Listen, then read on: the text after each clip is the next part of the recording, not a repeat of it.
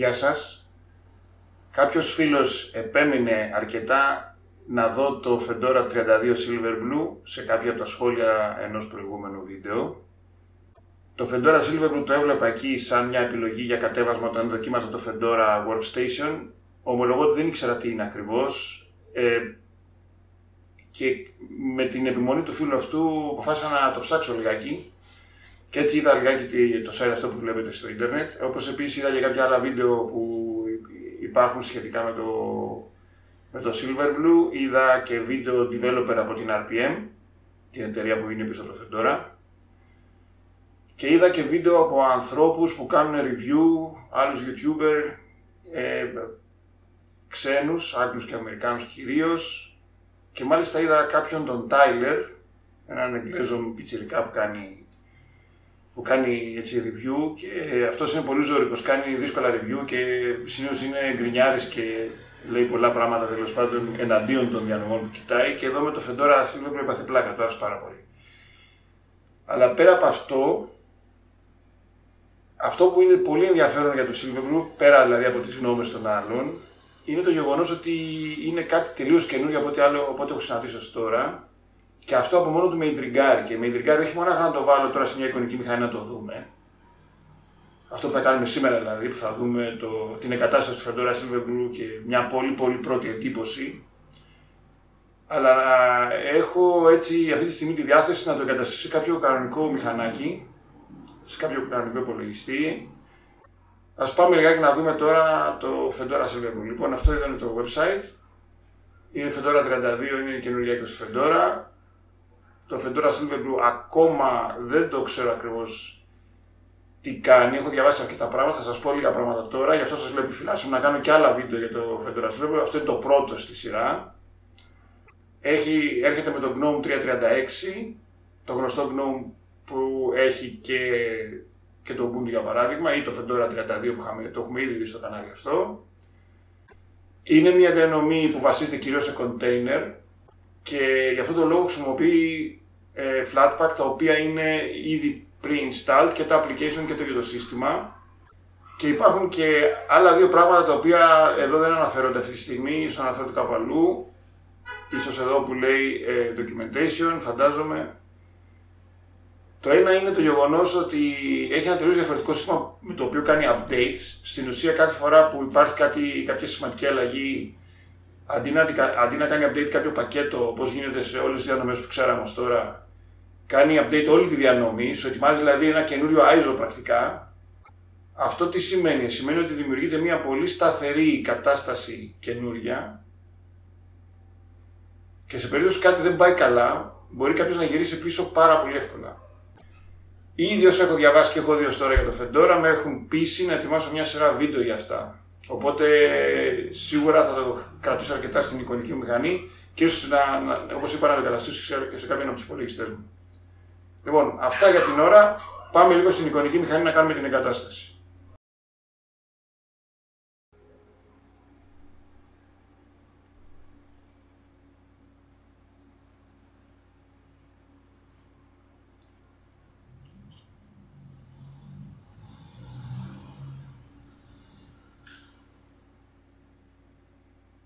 Έχουμε τον Anaconda Installer, τον έχουμε ξανασυναντήσει όταν είχαμε το Fedora 32.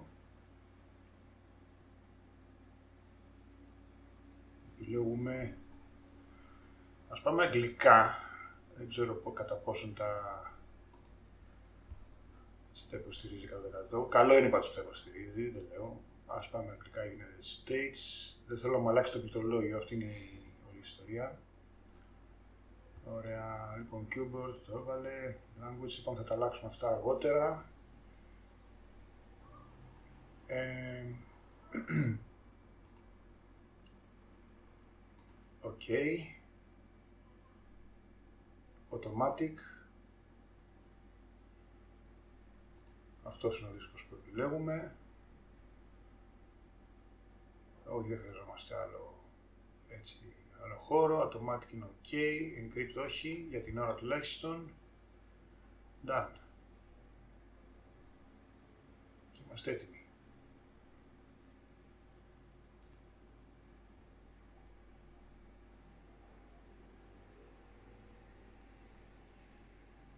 Θα κλείσω τώρα το βίντεο, θα το δούμε σε λίγο.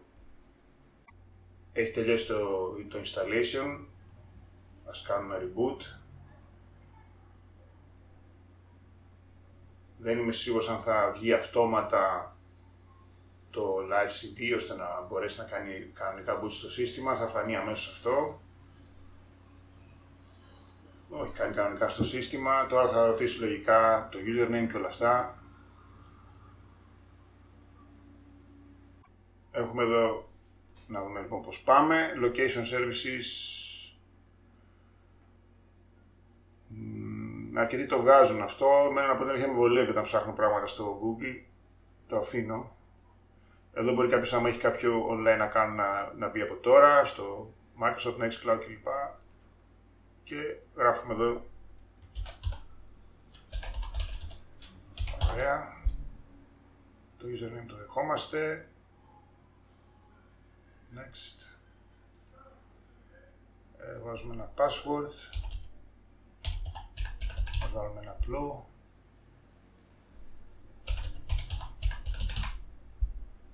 Next. All done. Ε, μπορούμε να ξεκινήσουμε το Fedora. Ωραία. Εδώ έχει έτσι διάφορα ωραία βίντεο introductory δεν θα τα δούμε αυτή τη στιγμή. Αυτά έχουν σχέση με το GNOME. Να πούμε ότι εδώ έχουμε ό,τι πιο βανίλα υπάρχει σε GNOME. Τέτοιου είδους ε, απλή κατάσταση GNOME θα πάρει κανείς και αν απλά κατεβάσει το desktop κατευθείαν σε Arch για παράδειγμα ή σε Debian και εδώ το Fedora 32 ε, ακολουθεί αυτή τη γραμμή. Λοιπόν, ξεκινάμε τη σύνδεσή μας για να μπούμε στο, στο desktop.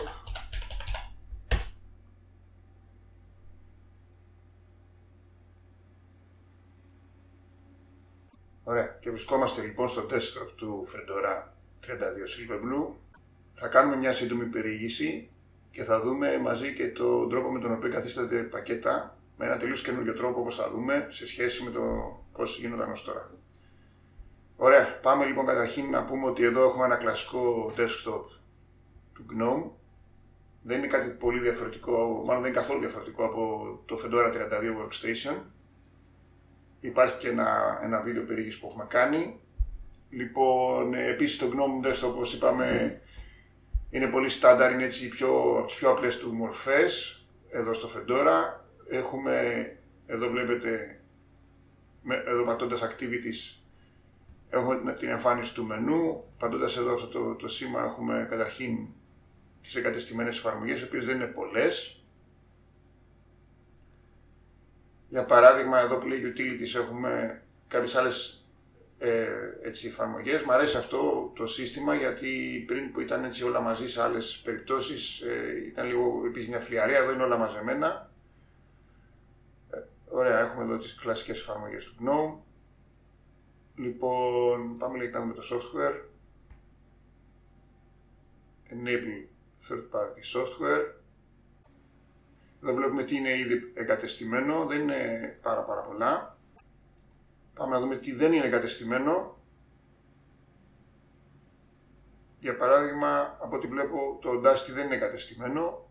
Το Audacity είναι μια εφαρμογή που σχετίζεται με την επεξεργασία του ήχου. Είναι πάρα πολύ χρήσιμο για όσους φτιάχνουν βίντεο ή φτιάχνουν τραγούδια ή τέλος πάντων ασχολούνται με τον ήχο. Και έχει διάφορα εδώ, το Cheese, το Sound Recorder, Gnome Music. Ας βάλουμε το Audacity να δούμε πόσο εύκολα μπορεί να εγκατασταθεί. Και πρέπει να είναι, είναι θα, θα δημιουργήσουμε στην ουσία ένα sandbox για να μπει μέσα το πρόγραμμα. Και έχω την εντύπωση ότι είναι flatpak. Δεν το βλέπουμε να κουνιέται, δεν ξέρω για ποιο λόγο. Άρχει πάρα πολύ. Οπότε κάνουμε λίγο cancel. Θα δούμε αργότερα κάποια πράγματα για την εγκατάσταση. Για να δοκιμάσουμε να δούμε τι λέει το τερματικό. Πατήσουμε το τέρ. Το κλασικό δερματικό του Gnome. Ωραία, μεγαλώνει εδώ, έτσι για να φαίνεται. Ωραία. Λοιπόν, για να δούμε το Audacity αν υπάρχει. Προφανώς δεν υπάρχει. Okay. Λοιπόν, να δούμε τώρα πώς μπορούμε να το εγκαταστήσουμε. Λοιπόν, καταρχήν να δούμε, ξέρουμε ότι είναι προκατεστημένο το Flatpak. Να δούμε λίγα τι γίνεται με τα, με τα αρχεία του Flatpak που υπάρχουν εδώ. Τι, τι είναι κατεστημένο. Έχουμε ένα Flatpak list. Ωραία. Βλέπουμε λοιπόν ότι πάρα πολλές εφαρμογές που είδαμε πριν στο Software Center είναι από Flatpak. Παραδείγματος χάρη το Events, το Gnome Characters, το Calendar, το Calculator. Λοιπόν, και είδαμε πριν ότι προσπαθήσαμε να κατεβάσουμε το Audacity. Η πλατφόρμα είναι το που λέει Org Fedora Project Platform, είναι, είναι του Flatpak και αυτή. Κάπου διάβασε κάποιες οδηγίες ότι μία από τις πρώτες δουλειές που πρέπει κάποιος να κάνει στο Fedora Silverblue είναι να ενεργοποιήσει και το Flat Hub που είχαμε δει σε κάποιο προηγούμενο βίντεο, που είναι το κύριο ε, αποθετήριο για λογισμικό Flatpak. Θα το κάνουμε και αυτό στη συνέχεια. Ε, ας δούμε λιγάκι τώρα ποιο από αυτό είναι πραγματικά applications. Ωραία, είναι αυτά. Είναι αρκετά. Έτσι είναι το Gerrit για παράδειγμα. Όλα αυτά είναι το Eye of Gnome, Gnome Clocks, Weather. Όλα αυτά είναι κλασικά Gnome Maps ε, του Gnome. Άρα λοιπόν το μεγαλύτερο κομμάτι του λογισμικού που υπάρχει σήμερα εδώ εγκατεστημένο είναι ήδη Flatpak. Λοιπόν, ας κάνουμε λιγάκι τώρα ε, ένα Flatpak search για το Audacity. Ωραία, το Audacity υπάρχει εδώ. Είναι στο remote του Fedora. Για να δούμε λίγα τα remotes. Λογικά είναι το μόνο remote που υπάρχει εδώ. Αν, αν κάνουμε να καθαρίσουμε λίγο την οθόνη.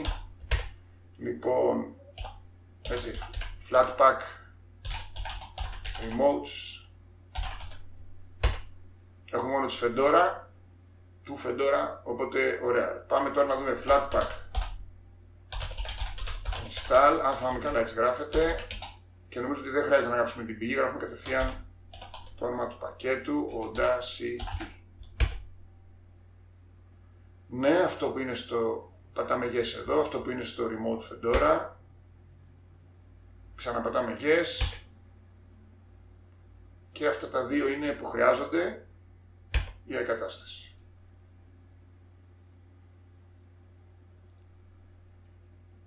Και από ό,τι βλέπουμε, σε αντίθεση με το Software Center, εδώ η κατάσταση επιτυγχάνεται το τερματικό.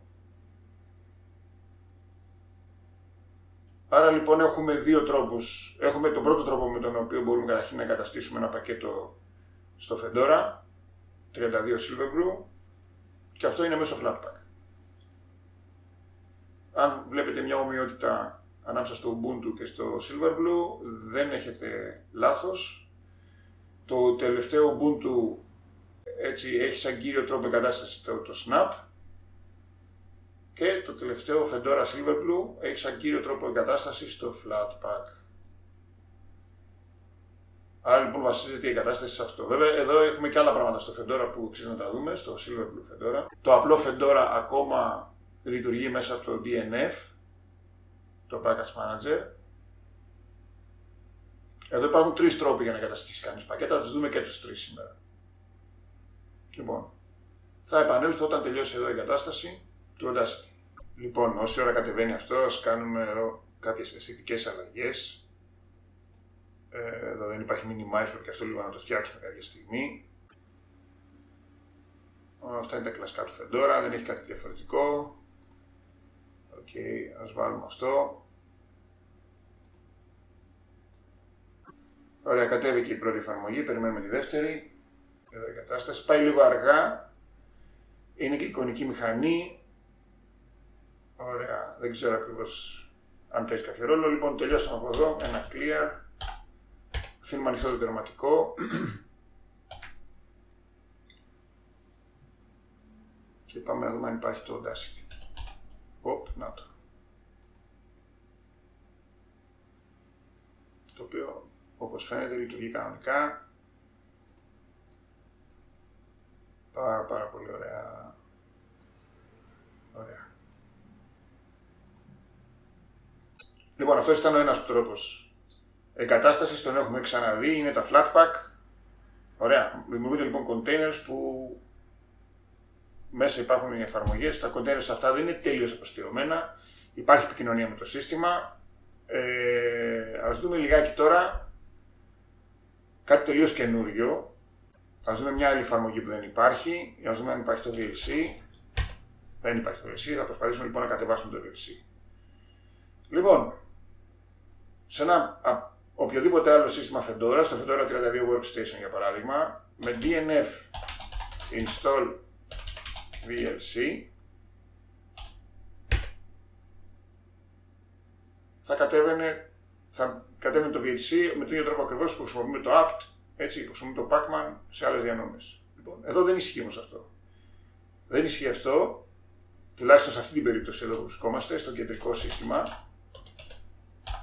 Πώς μπορούμε λοιπόν να καταστήσουμε πέρα από Flatpak μια εφαρμογή στο Fedora 32 Silverblue. Λοιπόν, θα πρέπει να πάμε να δούμε λιγάκι μια άλλη, έναν άλλο τελείως διαφορετικό τρόπο με τον οποίο διαχειριζόμαστε τα, τα πακέτα ενός συστήματος και γενικότερα όλη την ισορροπία ενός συστήματος, όλη την ανανέωσή του, πολύ διαφορετικό από οποιοδήποτε άλλο Linux, που λέγεται RPM OS 3.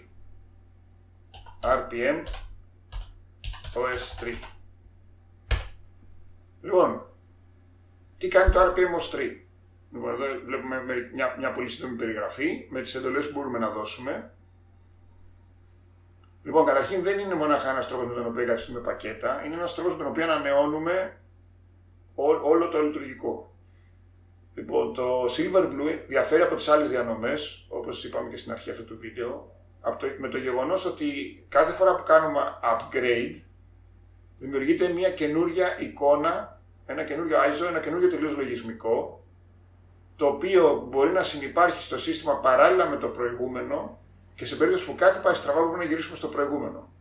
Αυτό γίνεται μέσα από, καταρχήν, το update γίνεται μέσα από την εντολή upgrade, η οποία είναι εδώ, για να κάνουμε ένα, ένα ωραία, RPM OS 3 upgrade, Πάμε πρώτα να κάνουμε ένα RPM OS 3 status, για να δούμε σε ποιο ακριβώς σημείο βρισκόμαστε.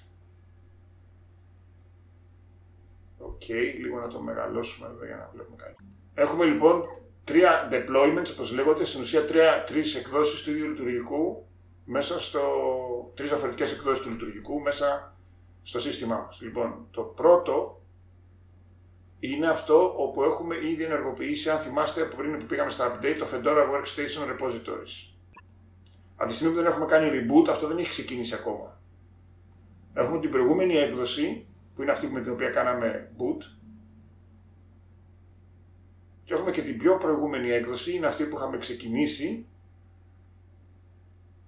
χωρίς αυτά εδώ τα GCC Make και Pair που χρειάστηκαν για να εγκαταστήσω τα, το Virtual Broadcast Additions πριν, για να συνδεθούμε. Ας κάνουμε λοιπόν τώρα ένα reboot, το οποίο γίνεται με την εντολή systemctl reboot,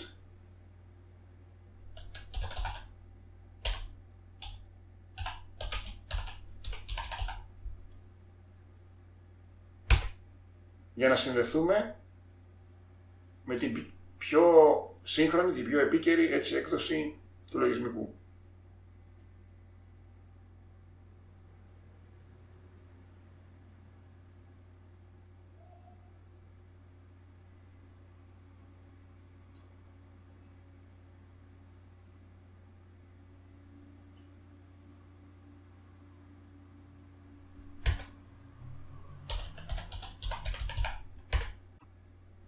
Ωραία, συνδεθήκαμε πάλι για να, να ανοίξουμε πάλι το δερματικό.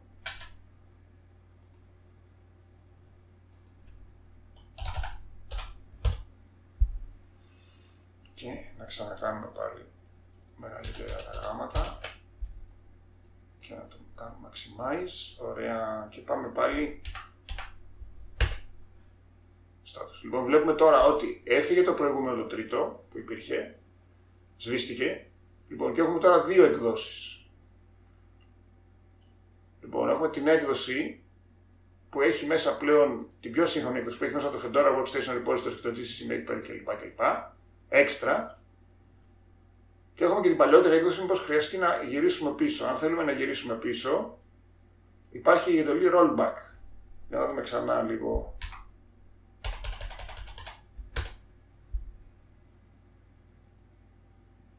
rollback. Γυρίζουμε πίσω Στο προηγούμενο, στην προηγούμενη έκδοση δεν το κάνουμε εδώ γιατί δεν χρειάζεται να το κάνουμε. Τώρα αυτό που θα κάνουμε εδώ είναι να εγκαταστήσουμε το VLC. Να δούμε λοιπόν πώς γίνεται η εγκατάσταση πακέτων μέσα από αυτό το σύστημα. Πάμε λοιπόν RPM OS 3, install, VLC.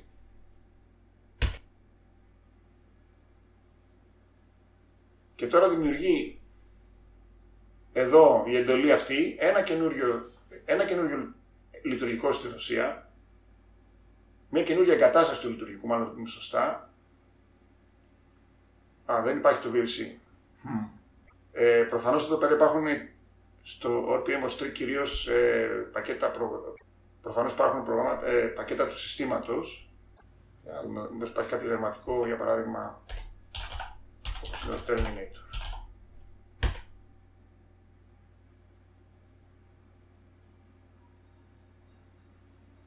Υπάρχει το Terminator.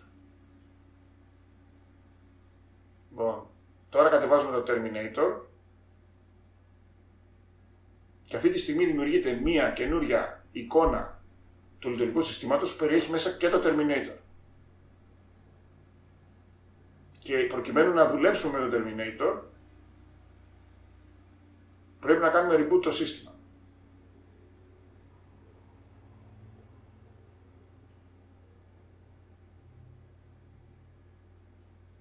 Για να κάνουμε ξανά ένα status.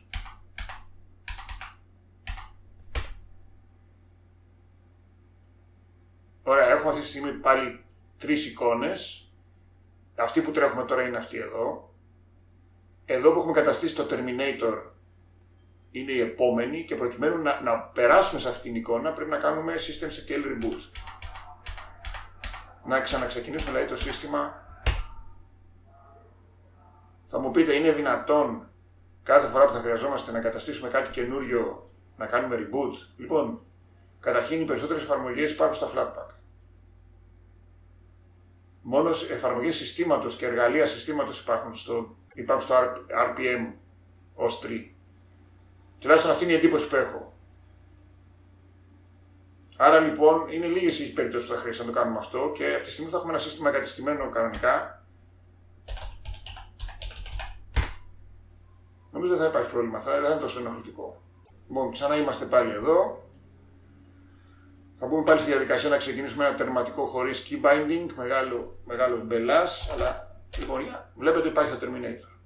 Άρα λοιπόν είμαστε πλέον σε αυτό το τερματικό, το Terminator, το οποίο αν θυμάμαι καλά ανεβαίνει και αυτό κάπως τον ίδιο τρόπο, ανεβαίνει η ανάλυση κέρσορα, πολύ ωραία. Και τώρα αν κάνουμε πάλι System CTL, ε, συγγνώμη, RPM ως 3 status.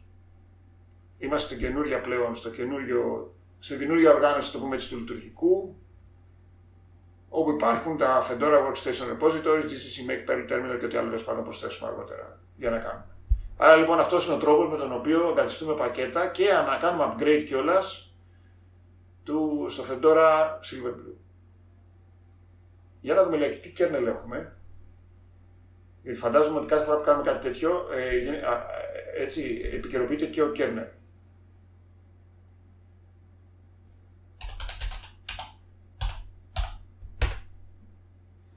«5616» και στο Arch που είμαι αυτή τη στιγμή 5615. Wow, μιλάμε για τον πλέον σύγχρονο kernel, τον ε, πλέον επίκαιρο kernel. Άρα λοιπόν το Silver Blue είναι μία rolling διανομή, μία διανομή που διαρκώς ανανεώνεται, παρόλο που έχει νούμερο διανομή είναι το, το Silver Blue 32, συνεχώς ανανεώνεται και φαντάζομαι ότι περνάει και στην επόμενη έκδοση κάθε φορά, απλά αλλάζοντας τοποθετήρια ίσως τα ε, Είναι, είναι λοιπόν μια έκδοση που συνεχώς ανανεώνεται, μια διανομή που συνεχώς ανανεώνεται και ανανεώνεται με έναν τρόπο ε, που θεωρείται ο πλέον ασφαλής. Είπαμε ξανά, με τη δημιουργία νέων εκδόσεων του λειτουργικού κάθε φορά που κάνουμε εγκατάσταση κάποιων προγραμμάτων.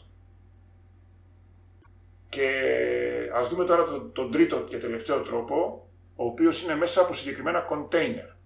Θα πρέπει λοιπόν να, να δημιουργήσουμε καταρχήν ένα container. Και πάμε λοιπόν στην τεχνολογία των toolbox για να εγκαταστήσουμε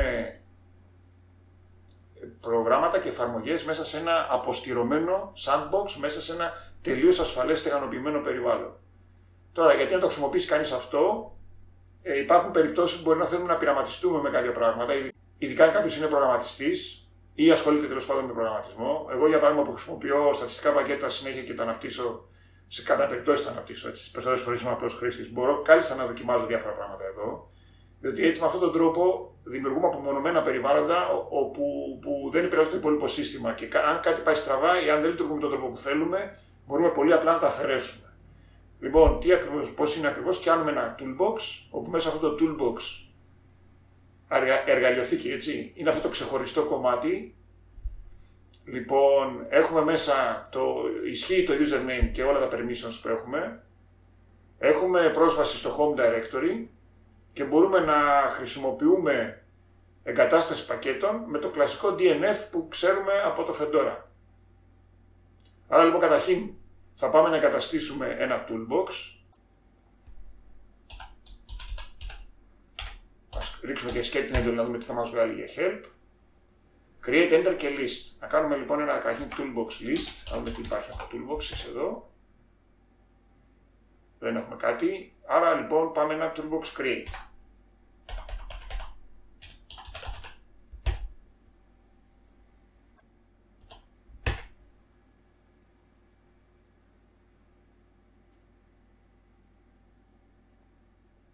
Δεν ξέρω γιατί το default είναι no.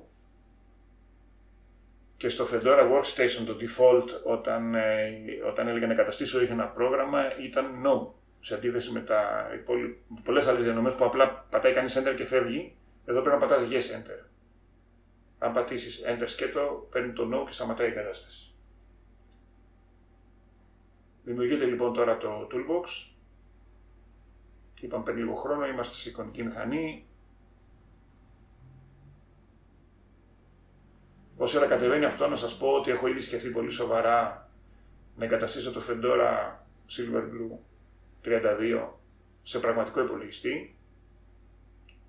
Περισσότερα σε κάποιο άλλο βίντεο. Σκέφτομαι λέει να το δοκιμάσω πραγματικά σε πραγματική χρήση. Ωραία. Είμαστε έτοιμοι. Λοιπόν, υπάρχει το toolbox, να το δούμε αυτό. Αυτό είναι το toolbox. Βέβαια, έχουμε ένα container, έχει αυτό εδώ το το όνομα. Το όνομά του είναι Fedora Toolbox 32, ε, φτιάχτηκε 7 δευτερόλεπτα πριν και το registry που έχει μέσα είναι του Fedora. Λοιπόν, οπότε εδώ τώρα για να μπούμε μέσα πατάμε Toolbox. Enter. Τουλάχιστον να βάζει οδηγίες. Και τώρα βλέπετε εδώ αριστερά αυτή εδώ την κουκίδα. Είμαστε πλέον μέσα στο έτσι, στο toolbox έχουμε αυτό το prompt με το όνομα του user κτλ. Αν κάνω ls είμαι στο home directory, βλέπω το home directory κανονικά μέσα στο toolbox και θέλω να εγκαταστήσω για παράδειγμα το R, τη γλώσσα προγραμματισμού R για να κάνω στατιστικές αναλύσεις. Άρα λοιπόν αυτό που έχω να κάνω είναι απλά όπως ξέρουμε από το Fedora DNF install άρα. Και φαντάζομαι θα μας ζητήσει sudo ναι. Sudo εδώ βγάλει ένα error operation of permitted δεν ξέρω ακριβώς τι είναι αυτό. Εδώ τώρα γίνεται συγχρονισμός των, ε, των repositories. Εδώ είναι σαν να βρισκόμαστε σε ένα απλό workstation. Το οποίο έχουμε φτιάξει ένα container με ένα workstation του Fedora μέσα στο σύστημά μας, στο Silverblue. Άρα, εγώ εδώ πέρα μπορώ να τρέξω όλε τι αναλύσεις θέλω, μπορώ να κάνω όσα λάθη θέλω και όταν κάτι δεν πάει καλά, απλά το σβήνω. Είναι μια τελείως διαφορετική φιλοσοφία Linux, η οποία ομολογώ ότι είναι τρομερά ελκυστική. Αυτό σε σχέση με τα container του Flatpak και σε σχέση με τον τρόπο με τον οποίο κάνει update μέσα από το OS 3, το RPM OS 3, δίνει ένα τελείως διαφορετικό τύπο διανομής Linux που έχει τρομερό ενδιαφέρον. Μου έχει εξάψει πάρα πολύ την περιέργεια. Θα ήθελα πολύ πραγματικά να το δοκιμάσω, όχι σε εικονική μηχανή, αλλά σε ένα πραγματικό υπολογιστή να δω πώς δουλεύει. Όλα αυτά πολύ ωραία, αλλά δεν βρήκε το R. Άρα. Τώρα μας, λέει, θέλει κεφαλαίο R. Ναι. Οκ. Αυτά εδώ είναι τα πακέτα. Ό,τι πρέπει να κατέβει για το R, τα dependencies και όλα αυτά. Και πατάμε ένα yes, ίσως πάρει λίγο χρόνο. 490 λέει θα κατεβάσει, προφανώς θα πάρει χρόνο. Διακόπτω εδώ το βίντεο και συνεχίζουμε μετά. Τελείωσε. Πολύ ωραία. Για να καθαρίσουμε λίγο το εδώ. Ωραία. Είμαστε λοιπόν μέσα στο toolbox. Πολύ ωραία και κάνουμε να δούμε αν τρέχει το R. Προφανώς με κεφαλαίο R. Τρέχει μια χαρά, πάρα πολύ ωραία. Αυτό τώρα το πρόγραμμα τρέχει μέσα στο toolbox. Ας βγούμε από το πρόγραμμα. Okay. Λοιπόν, και τώρα θέλω να βγω από το toolbox να γυρίσω πάλι στο κεντρικό σύστημα. Φαντάζομαι θα βγαίνει με 6. Ναι, βγήκαμε με 6. Πολύ ωραία. Για να δούμε αν τρέχει το άρθρο στο κεντρικό σύστημα. Όχι. Άρα λοιπόν το, το, το πρόγραμμα, το πακέτο που μόλις εγκαταστήσαμε τρέχει μόνο μέσα στο, στο το toolbox. Είναι απομονωμένο. Άρα στο υπόλοιπο σύστημα δεν τρέχει. Άρα λοιπόν, εγώ αν από εδώ και πέρα θέλησω ποτέ να κάνω ε, αναλύσεις μέσα από το R, θα πρέπει πρώτα να μπω μέσα στο. Έτσι, να πάω στο Toolbox Enter και εδώ να τρέξω το R. Ωραία. Εντυπωσιακότατο. Ας βγούμε και από το τερματικό. Είδαμε λοιπόν τους τρεις τρόπους με τους οποίους μπορεί κανείς να εγκαταστήσει πακέτα στο, στο Silverblue. Δεν πρόκειται να μπω στη διαδικασία να αρχίσω να μεταβάλω το, το GNOME, να το διαμορφώνω, να, έτσι, να, να κοιτάω τι, τι, τι αλλαγές μπορούμε να κάνουμε. Όλα αυτά είναι τα κλασικά του GNOME και το έχουμε ήδη δει στο Fedora 32. Θα κλείσω εδώ αυτό το βίντεο με μια γνώμη, έτσι ένα κλείσιμο, έχετε ήδη καταλάβει ότι έχω ενθουσιαστεί. Ε, είναι από τις λίγες φορές που ενθουσιάζω πραγματικά με μια διανομή. Και ο λόγος που έχω ενθουσιαστεί είναι επειδή αυτό είναι κάτι τελείως καινούριο και μου αρέσει πάρα πολύ. Ε, άρα δεν υπάρχει περίπτωση. Σίγουρα σε μια από τις επόμενες ημέρες, εβδομάδες, μήνες, δεν ξέρω πώς θα καταφέρω, θα, σίγουρα θα εγκαταστήσω σε κάποιο κανονικό υπολογιστή το Fedora Silverblue για να σας πω περισσότερα μετά από αρκετό καιρό για το πώς δουλεύει. Η πρώτη εντύπωση είναι πολύ θετική. Έχουμε ένα σύστημα που λειτουργεί τελείως διαφορετικά. Προσφέρει πλεονεκτήματα ασφάλειας και σταθερότητας που τα συναντάμε πρώτη φορά, εγώ τουλάχιστον, που δεν ξέρω πάρα πολλά πράγματα, έτσι είπαμε είμαι ένας απλός χρήστης. Και αξίζει το εγώ πραγματικά να το δοκιμάσετε, έστω και σε εικονική μηχανή στην αρχή, να το δοκιμάσετε και σίγουρα θα σας κερδίσει.